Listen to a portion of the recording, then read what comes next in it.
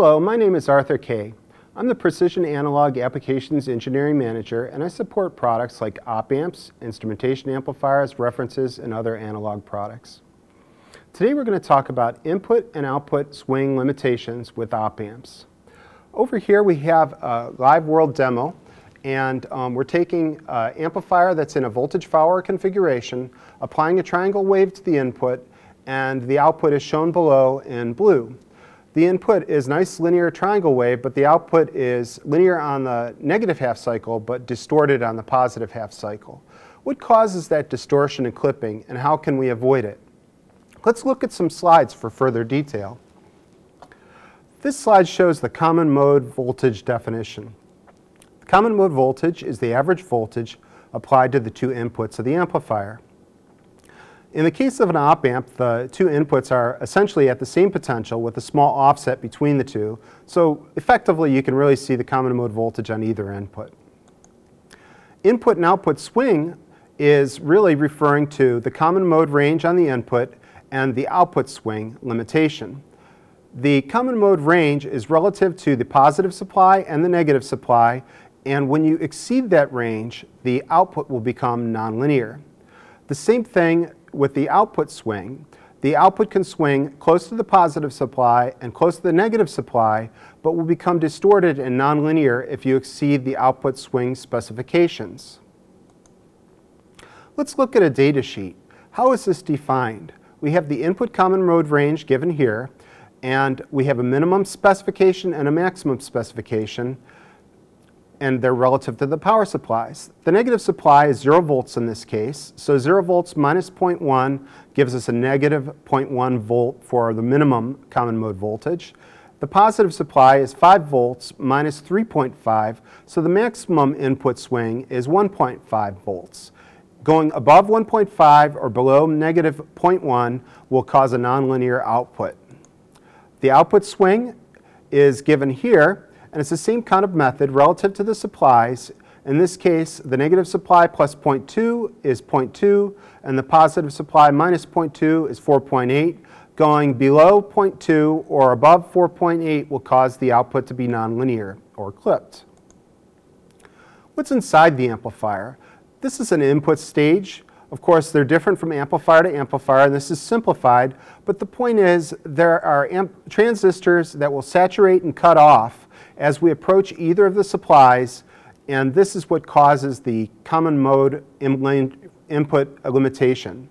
The output stage limitation is caused by uh, diode voltages and saturation voltages in the output stage.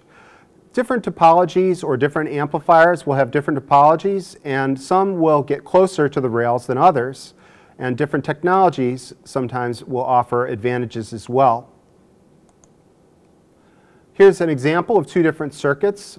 This is an inverting amplifier. Notice that the non-inverting input is grounded, so the inverting input is essentially at ground potential as well, and the common mode voltage remains constant regardless of what the input signal is. This is a good topology to use to avoid common mode limitations. The non-inverting topology, the input signal um, and the common mode signal track each other, and so with input signal changes, the common mode voltage will change, and you have to be careful not to violate the common mode range limits. Here's a real world example. It's a buffer. We're applying 0 volts to the input. We expect to get 0 volts out or just some small offset. But we get hundreds of microvolts, hundreds of millivolts, whereas it should just be microvolts out. What's the problem? The input common mode range, just using the same techniques we talked about with a, a 5 volt supply and a ground, is negative 0.1 to 1.5, and the input signal is 0, which is right between these, no problem. The output, um, using the same methods, 5 volt supply and ground, is 0.2 to 4.8, and we are outside of that because the output wants to go to 0 volts, and that's below the, the 2 volts. So it's out of range, and that is why we're getting hundreds of millivolts rather than microvolts out, and it's a violation, nonlinear signal. Let's look at another example, starting with the output. We have uh, the output range with different supplies, plus or minus 2.5 volt supplies. We have plus or minus 2.3 volt limits. No problem here because the output wants to be 0 volts. It's not outside of this range. What about the input? Well, with the input, we uh, have a 0 volt input, and if we look at the plus and minus 2.5 volt supplies, the range of the input is minus 2.6 to minus 1, and 0 is outside of that range. So it's a violation. That's why we have hundreds of millivolts out instead of microvolts. Let's take a look at a simulation of this. You can use simulation to actually solve this problem as well. So using Tina Spice, which is a tool that TI provides for free, we can do a transient analysis. This is, by the way, the same circuit we actually built and measured earlier. So we run the transient analysis. We get a bunch of curves. Let's separate those curves. And we have the input signal, which is a plus or minus 10 volt triangle wave. The input common mode range using the data sheet is minus 10.1 to plus 6.5. So a 10 volt peak is going to uh, is going to violate that range on the positive end. And we see that. The output becomes nonlinear and in fact clips in the circuit. Let's take a look at the real world circuit again. So in the real world example, you see the same thing. We've got a nice linear 10 volt triangle wave in, and the output is um, distorted in the case of the simulation, it was perfectly clipped, but you can see that in the case of the real world, it's clipped, but it's also distorted.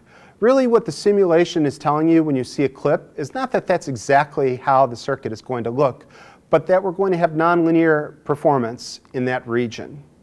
So in, in summary, you can measure, simulate, and calculate the uh, common mode input and output swing limitations for amplifiers.